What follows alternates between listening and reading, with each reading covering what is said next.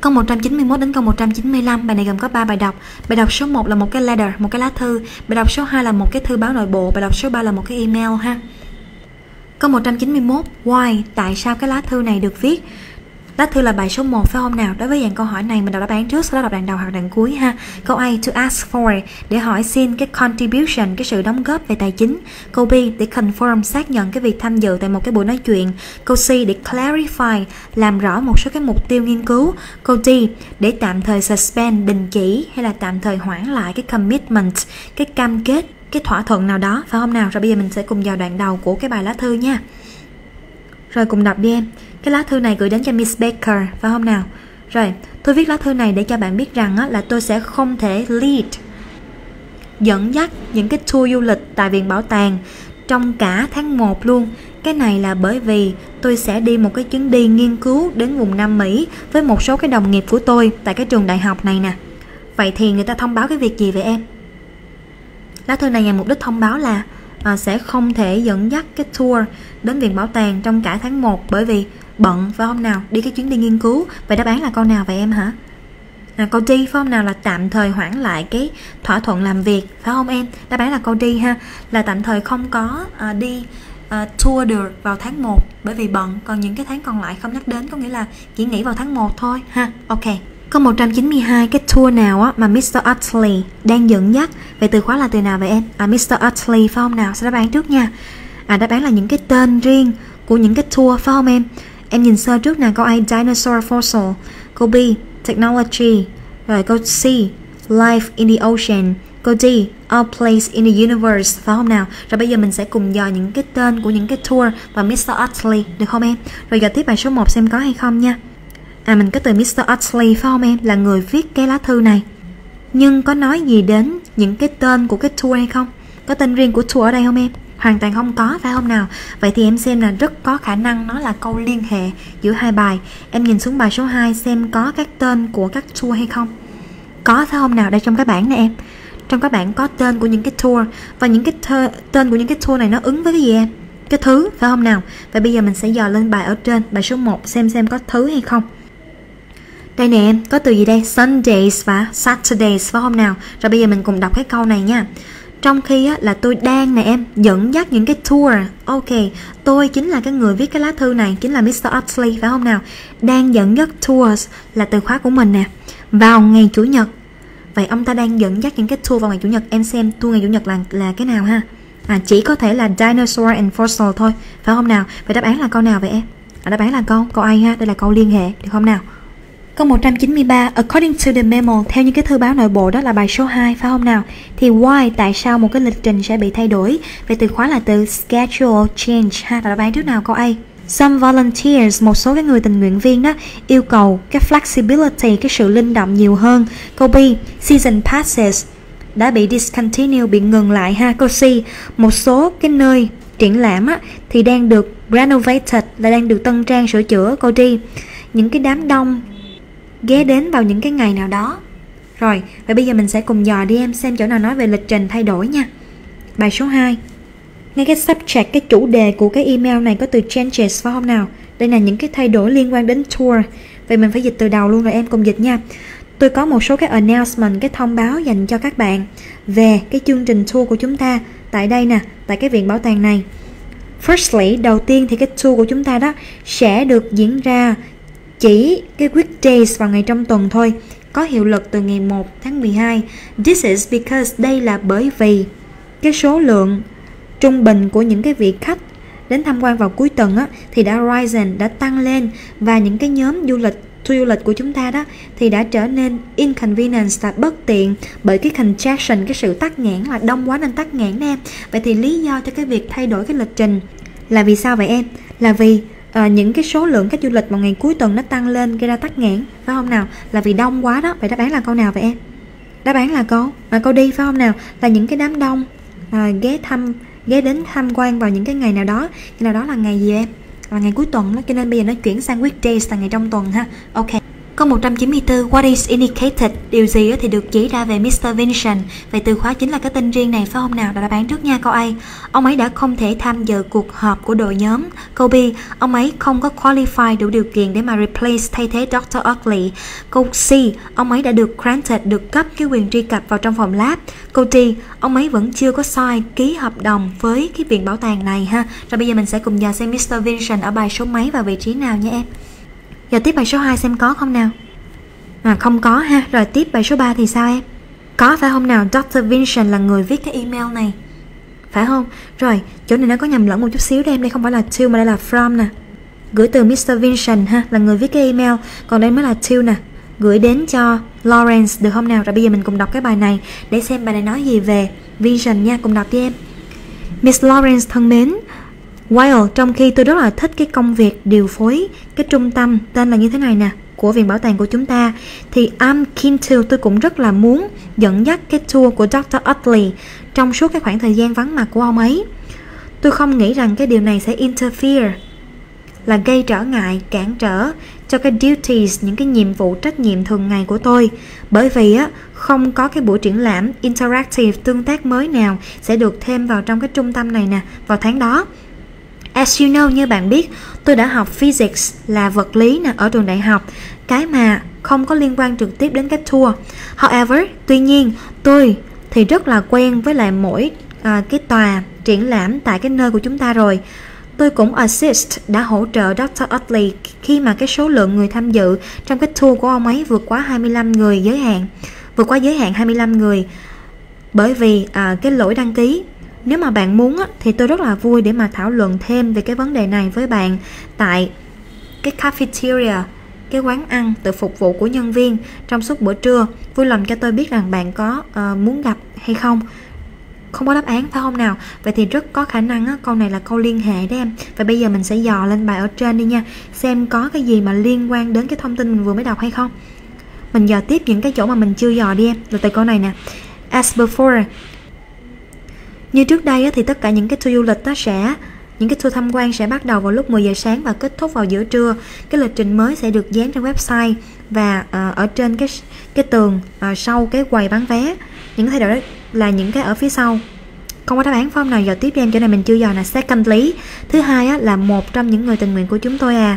Dr. James Otley sẽ không thể dẫn dắt những cái tour tham quan của ông ấy vào tháng 1 please vui lòng cho tôi biết qua email là liệu rằng bạn có sẵn lòng để mà take over thay thế đảm nhiệm uh, cho Dr. Otley tạm thời hay không? Tất cả những gì tôi cần á, là bạn phải có được cái bằng cấp trong cái archaeology có nghĩa đòi hỏi của ông ấy cho cái việc thay thế là gì em? Phải có bằng cấp về archaeology, phải không? Nhưng mà, em xem nè, lúc nãy mình đọc qua bài này á, thì Mr. Vincent có bằng cấp đó hay không? Không. As you know, I study physics. I study physics. Tôi học physics là về vật lý ở một cái trường đại học. Tôi là ai vậy em? Là mi, là Mr. Vincent nè. Vậy thì ông ấy không có archaeology mà là physics là vật lý. Archaeology là khảo cổ học đó em. Vậy đáp án là câu nào em hả? Câu B phải không? Nào là ông ta không có đủ điều kiện để mà thay thế Dr. Otley.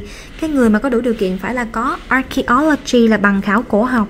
Còn ông ấy học về vật lý sao mà được phải không nào? Câu 195 According to the email Theo như cái email là bài số 3 phải không nào? Thì cái nào không có đúng về Cranfield Science Museum? Ok, vậy đây là những câu hỏi loại trừ đọc từng đáp án và giờ từng đáp án nha em. Câu A, nó runs Nó có hoạt động một cái địa điểm ăn uống Dining là ăn uống nè. Cho nhân viên có hay không? Có phải không? Nào lúc nãy mình có dò đó. Ở đâu vậy em? Ở đây nè. Staff cafeteria. Tại cái uh, quầy tự, phúc, uh, thức ăn tự phục vụ của nhân viên. Vậy là câu ai có phải không nào? Rồi câu b nè. It limits. Nó giới hạn cái kích cỡ của tour tham quan có hay không em? Có đây đây phải không nào? Đây nè. Nếu vượt quá cái giới hạn 25 người bởi vì cái lỗi đăng ký. Vậy là câu B có nó có giới hạn ha là 25 người đó. Câu C. Rồi nó chiếu một cái bộ phim mỗi một tiếng đồng hồ một lần có không? Nãy giờ mình đọc cả bài này có không em?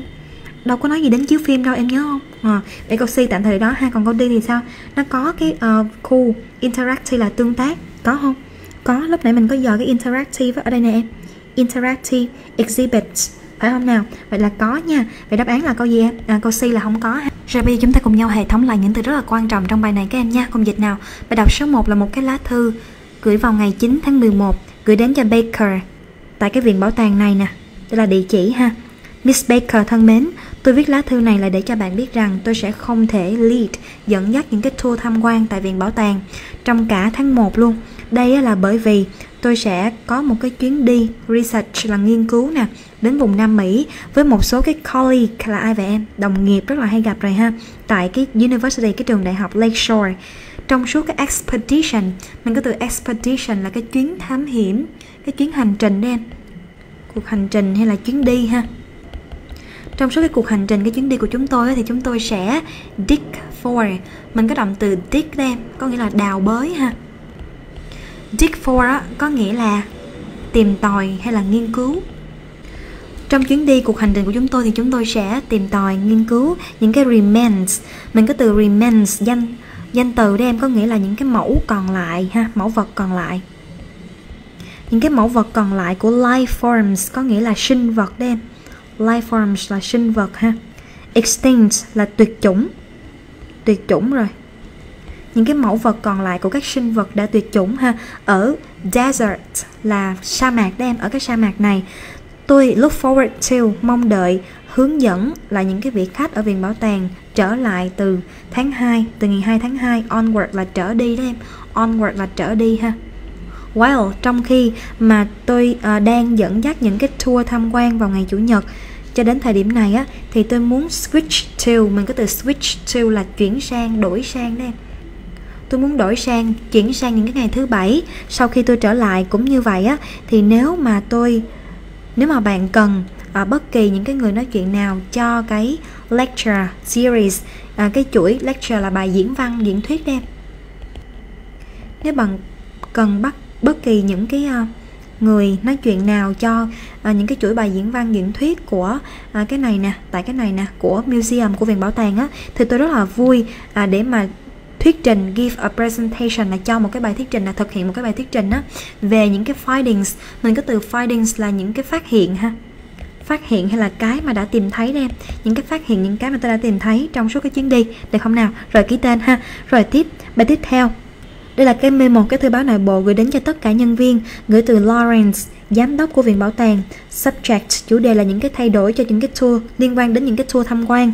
Ngày gửi là ngày 13 tháng 11. Tôi có một số cái announcement là thông báo dành cho tất cả các bạn về cái chương trình tham quan của chúng ta tại đây nè, tại cái Viện Bảo tàng Grandview Science. Firstly, đầu tiên những cái tour tham quan của chúng ta đó sẽ diễn ra vào weekdays là ngày trong tuần thôi, chỉ diễn ra vào ngày trong tuần. Effective là có hiệu lực đem có hiệu lực có từ ngày 1 tháng 12 ha. This is because đây là bởi vì à, cái số lượng người trung bình của những cái vị khách tham quan vào cuối tuần đã tăng lên và những cái nhóm tham quan á đã trở nên inconvenience rất là bất tiện bởi vì cái congestion có nghĩa là sự tắc nghẽn nè, sự ùn tắc, sự tắc nghẽn ha sự tắc nghẽn as before như trước đây thì tất cả những cái tour tham quan sẽ bắt đầu lúc 10 giờ sáng và kết thúc vào giữa trưa. Cái lịch trình mới sẽ được posted, được đăng tải lên website và được dán ở trên tường phía sau cái counter cái quầy bán vé. Những cái thay đổi thì như những cái sau đây ha. Những cái đây là những cái tên tour này em. Hiện tại cái ngày đang được tổ chức nè còn đây là cái ngày sẽ được tổ chức bắt đầu từ ngày 1 tháng 12 được không nào? Rồi secondly thứ hai là một trong những cái volunteers cái người tình nguyện viên của chúng tôi đó của chúng ta là Dr. James Otley sẽ không thể dẫn dắt những cái tour tham quan của ông ấy vào trong tháng 1 please vui lòng cho tôi biết qua email là liệu rằng bạn uh, sẽ sẵn lòng để mà take over là đảm nhiệm đem take over đảm nhiệm hay là thay thế ha? Đảm nhiệm việc thay thế. Hoặc là tiếp quản bạn sẽ tiếp quản thay thế ờ, uh, Dr. Utterly tạm thời. Tất cả những gì tôi cần là bạn có được cái bằng cấp trong cái ngành archaeology. Archaeology có nghĩa là ngành khảo cổ học ha.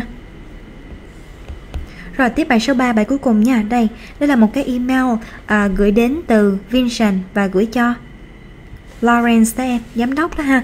Dear Miss Lawrence, Miss Lawrence thân mến, trong lúc mà à, trong khi mặc dù tôi rất là thích cái công việc điều phối cái trung tâm trải nghiệm energy sources của bảo tàng của chúng ta thì tôi am keen to mình có cái cụm là be keen to do something nè.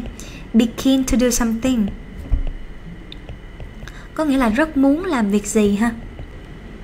Nhưng mà tôi cũng rất là muốn dẫn dắt những cái tour tham quan của Dr. Otley trong suốt cái absence là cái sự vắng mặt ha trong suốt cái sự vắng mặt của ông ấy tôi không nghĩ rằng cái này sẽ cái điều này sẽ interfere mình có từ interfere là gây cản trở hay là gây trở ngại ha? Gây trở hại hay là cản trở cái uh, regular duties? Mình có từ duty là gì em? Trách nhiệm hay là cái nhiệm vụ công việc đấy em? Những cái trách nhiệm hàng ngày của tôi bởi vì á không có cái exhibit cái cái buổi triển lãm interact hay là tương tác đêm tương tác nào sẽ được thêm vào à, ở cái trung tâm trải nghiệm vào tháng đó. As you know như bạn biết tôi đã học về cái physics là vật lý ở một cái trường đại học. Cái này thì không có liên quan trực tiếp gì đến cái tour tham quan.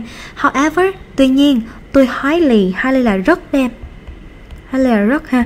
Rồi be familiar with là gì em? Quen với ha tôi rất là quen với mỗi uh, cái sảnh triển lãm ở cái viện bảo tàng của chúng ta tôi cũng đã assisted hỗ trợ Dr. Utley khi mà cái số lượng người tham dự trong cái tour của ông ấy exceeded vượt quá cái giới hạn là 25 người của chúng ta bởi vì cái lỗi đăng ký rồi nếu mà bạn muốn thì tôi rất là vui để mà thảo luận cái vấn đề này xa hơn thêm nữa với bạn tại cái cafeteria là cái quầy thức ăn cái quán ăn tự phục vụ đây tại cái quán ăn tự phục vụ của chúng ta ha. À, trong suốt cái giờ trưa cái bữa ăn trưa vui làm cho tôi biết lần rượu rằng á bạn có muốn gặp hay không? Rồi ký tên được không nào? Rồi câu 191 câu ai mình cái từ financial contribution. Contribution nó là sự đóng góp ha. Financial là tính từ của từ finance có nghĩa là tài chính đóng góp về mặt tài chính ha. Đóng góp về mặt tài chính. Ok rồi câu C mình có từ clarify là làm rõ. Làm rõ đây làm rõ ha. Làm rõ một số cái goals là mục tiêu nghiên cứu.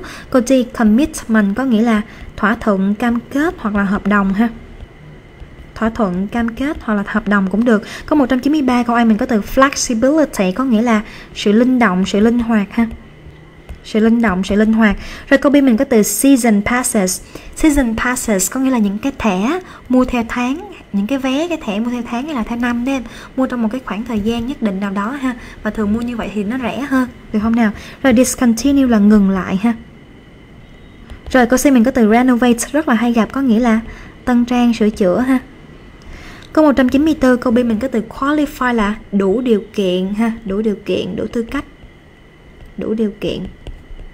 Câu B là anh ta không đủ điều kiện để mà thay thế Dr. Utley. Câu C mình có từ granted là cấp đem, cấp ha cho cái access cái quyền truy cập đến cái phòng lab. Cô G mình có từ sign a contract có nghĩa là ký kết hợp đồng ha.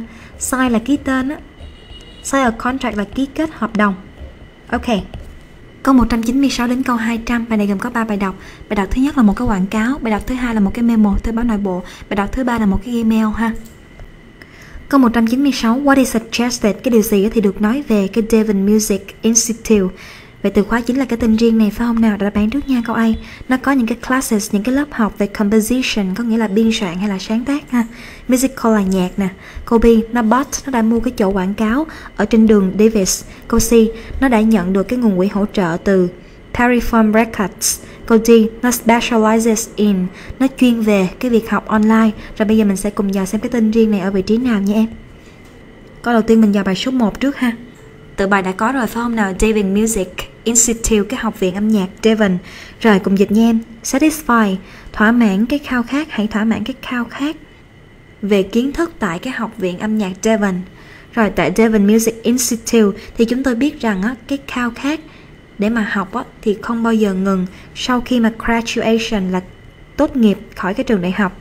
That's why đó là lý do tại sao bên cạnh cái việc cung cấp những cái sự đào tạo, huấn luyện cho những cái performers là những người trình diễn nghệ sĩ ra và composer là những cái nhà người biên soạn người sáng tác.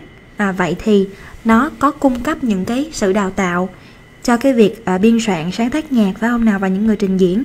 Vậy thì câu nào đúng vậy em? À, đáp án chính xác là câu câu ai ha. Nó có những cái lớp học về biên soạn sáng tác âm nhạc được không nào? Câu 197 What aspect khía cạnh nào của buổi workshop, buổi hội thảo tại Devon Music Institute mà Mr. Hong nhận thấy impressive là ấn tượng. Vậy từ khóa là từ nào vậy em? À, Mr. Hong impressive phải không nào? Đã bán trước nha câu A.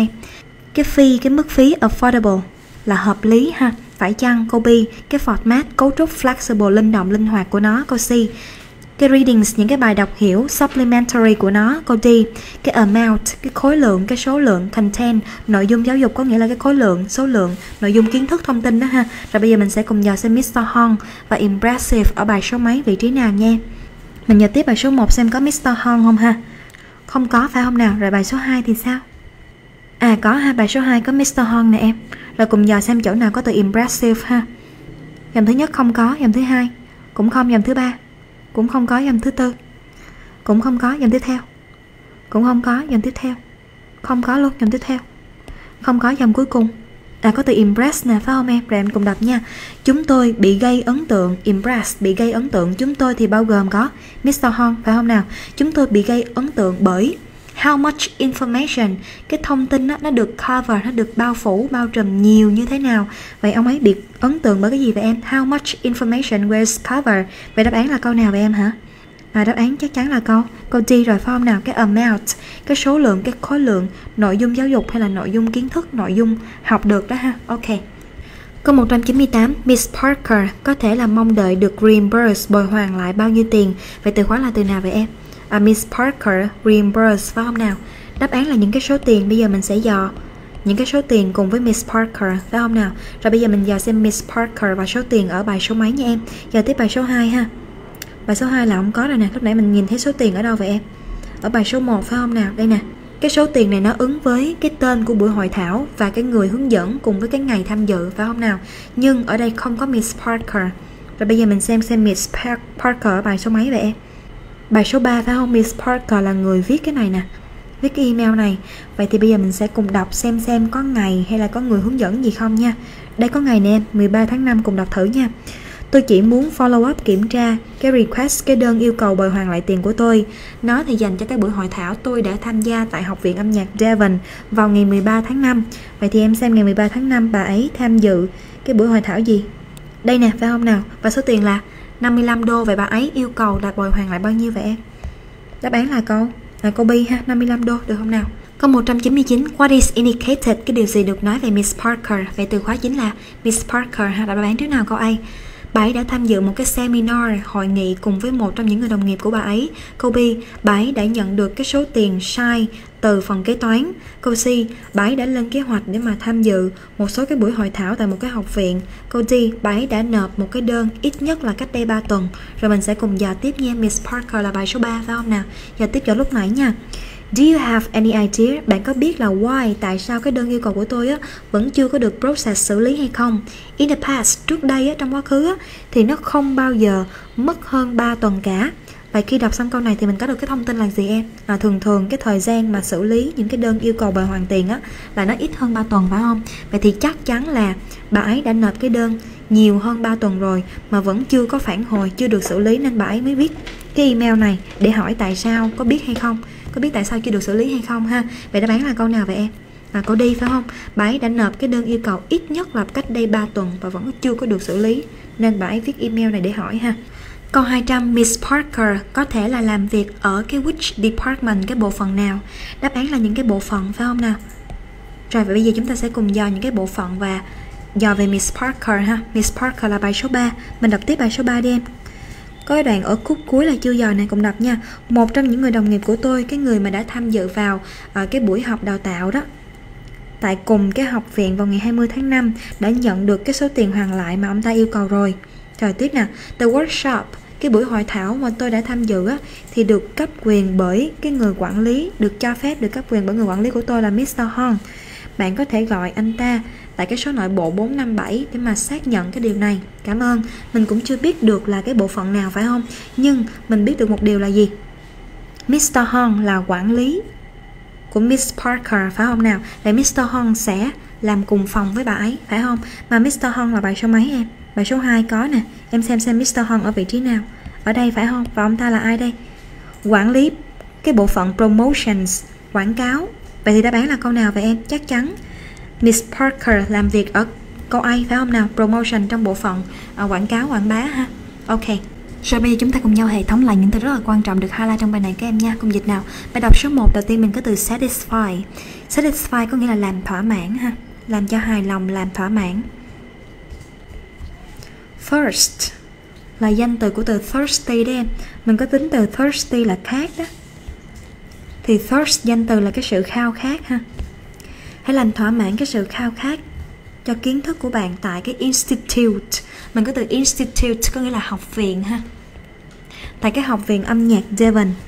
Tại cái học viện âm nhạc Devon thì chúng tôi biết rằng á, cái desire mình có từ desire có nghĩa là cái niềm khao khát cái sự khao khát ha cái sự khao khát mong muốn đam mê để mà học thì không có thể nào ngừng sau khi graduation là tốt nghiệp khỏi cái trường đại học. That's why đó là lý do tại sao mà bên cạnh cái việc cung cấp uh, cái sự đào tạo cho performers là những người trình diễn nè. Nghệ sĩ ha người trình diễn. Và composers là người biên soạn hay là sáng tác đó người sáng tác hay là biên soạn ha? Mình có từ aspiring có nghĩa là có đầy khao khát ha? Đầy đam mê khao khát. Đầy đam mê khao khát hay là khát vọng? Rồi thì chúng tôi cũng cung cấp rất là nhiều cái courses cái khóa học giáo dục à, tiếp tục được giảng dạy bởi những instructor. Mình có từ instructor là người hướng dẫn nên instructor. Hoặc là giảng viên nữa ha? Người hướng dẫn hay là giảng viên? Bởi những người hướng dẫn, những giảng viên qualify, mình có từ qualify có hai nghĩa. Nghĩa thứ nhất là có đủ điều kiện, đủ tư cách. Đủ điều kiện, đủ tư cách. Nghĩa thứ hai có nghĩa là giỏi, có kinh nghiệm ha. Giỏi hay là có kinh nghiệm? Chỗ này có nghĩa là giỏi, có kinh nghiệm đó em bởi những người hướng dẫn, những giảng viên có kinh nghiệm hay là giỏi ha. Nếu bạn muốn enhance là nâng cao á. Nếu bạn muốn nâng cao, enhance nếu bạn muốn nâng cao cái đời sống của bạn thông qua cái việc hiểu hơn về âm nhạc thì hãy xem xét à, để mà tham gia một trong những cái workshops cái buổi hội thảo về lịch sử âm nhạc sắp tới của chúng tôi. Rồi cái bản này thì có workshop đây là tên của những cái buổi hội thảo ha.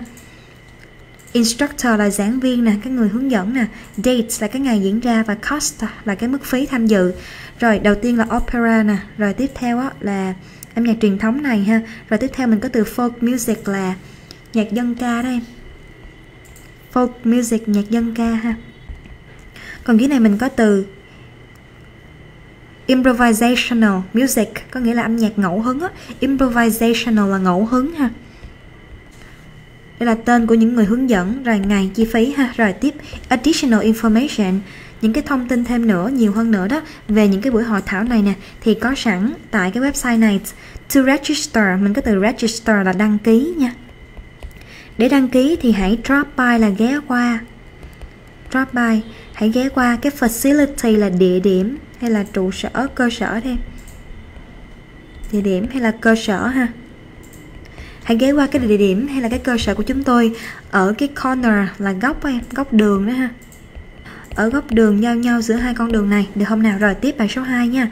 Bài số 2 một cái thư báo nội bộ gửi đến cho nhân viên của cái phòng promotion của công ty là Parafirm Records. Rồi, gửi đến từ Jack Hồng quản lý của cái bộ phận promotions của công ty này. Được không nào ngày gửi là 15 tháng 4 chủ đề là về những cái buổi hội thảo.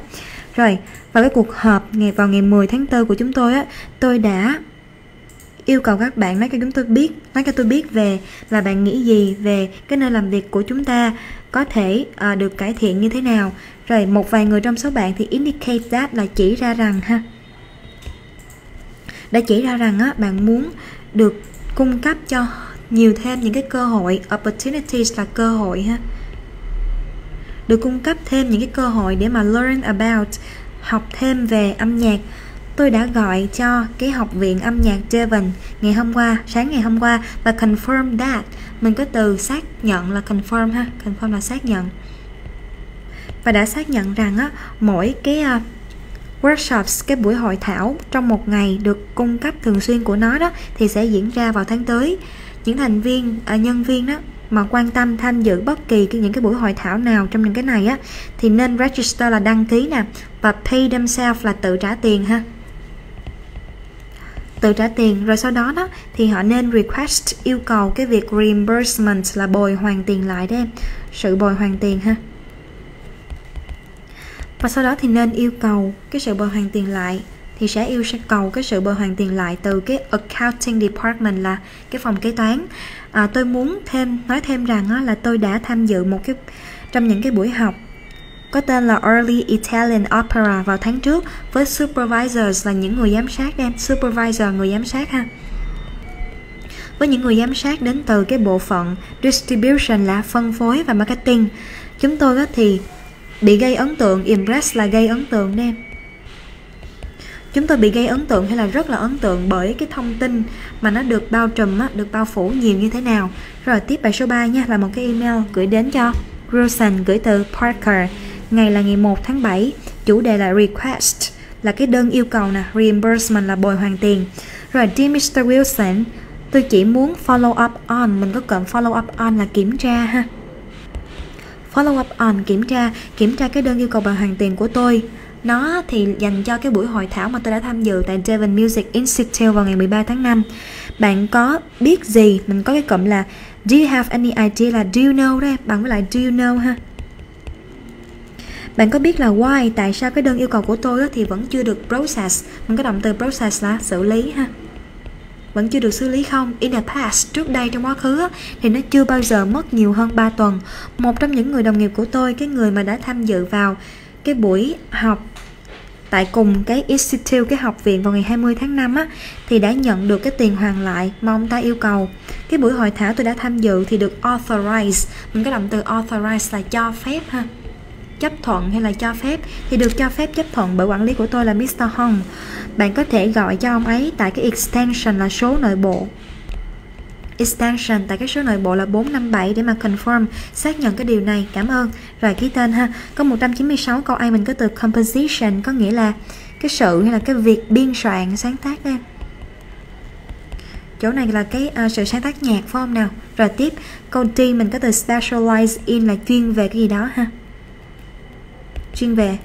Rồi câu 197 câu A mình có từ affordable, có nghĩa là phải chăng hay là hợp lý ha? Giá cả phải chăng hợp lý đó.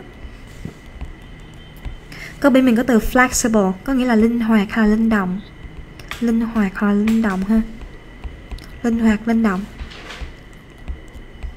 Câu C mình có từ supplementary là tính từ. Supplementary có nghĩa là bổ sung hay là phụ thêm ha bổ sung hay là phụ thêm? Supplementary readings, có nghĩa là những cái bài đọc bổ sung, những cái bài đọc bổ trợ thêm nè. Em rồi câu D mình có từ content là nội dung ha. Nội dung. Câu D là cái khối lượng, cái số lượng nội dung kiến thức của nó ha. Câu 199 câu A mình có từ seminar là hội nghị. Tiếp theo mình có từ coworker, có nghĩa là đồng nghiệp ha. Coworker, đồng nghiệp. Ok.